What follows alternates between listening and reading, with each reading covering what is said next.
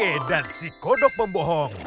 Super Bang, cepat oke. Satu juta satu, satu juta dua. Heta, badan berat amat gara-gara kebanyakan makan kimbab. Kapan dilirik ceweknya? Let's go kita olahraga.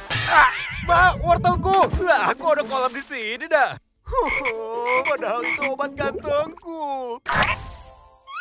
Wortel ini punya masnya. Pak Kodok, thank you Pak. Gimana caranya saya bisa membahas kebaikan Pak Kodok? Kamu nanya. Bercanda. Sudah, ambil aja ini. Terima kasih Pak. Tapi bohong. Wortelmu tuh di kepala aku ini loh. Kodok kau bilang, aku ini pangeran kodok. Ngomong apa sih? Aku ini dikutuk penyihir. Jadi semua perkataanku itu bohong. Hanya ciuman sejati yang bisa mengembalikanku. Kalau kau ingin wortelmu, carikanlah cinta sejatiku. Licik betul nih kodok, bisa-bisanya wortelku jadi Sandra.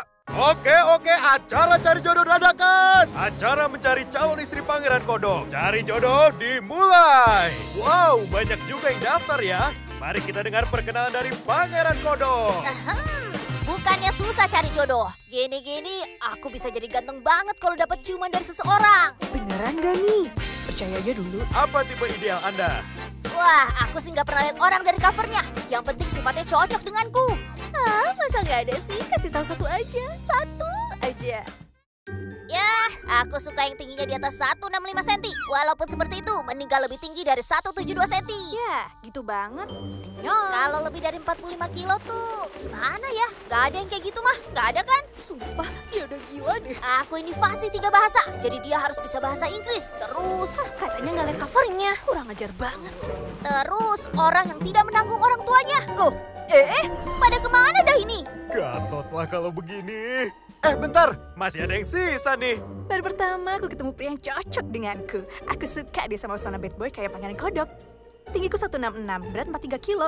Aku pernah sekolah di luar negeri. Ah, maaf, itu bohong. Aku sukanya cewek cantik. Kurang ajar banget sih. Kodok ini bisa-bisanya bikin sakit hati. Cewek baik hati itu. Jurus Bang Oke. Hap.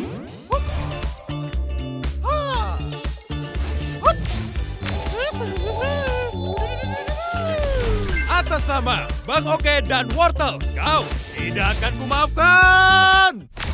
Kodok pembual ini harus kuberi pelajaran. Hah?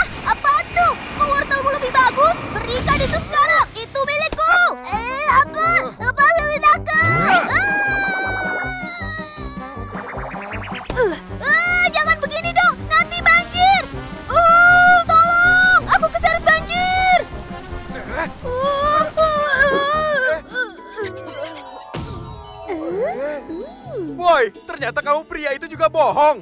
Kaget kan? Mau pacaran nggak? Eh, kak, kalau begitu kita pacaran nih. Akhirnya aku punya pacar juga. Tapi bohong.